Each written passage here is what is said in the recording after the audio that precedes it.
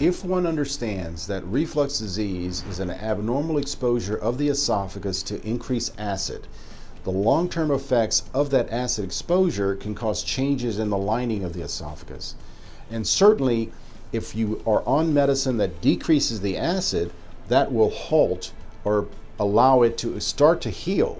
But as the long term effects, as you understand, once you stop the medication, then that acid exposure can return.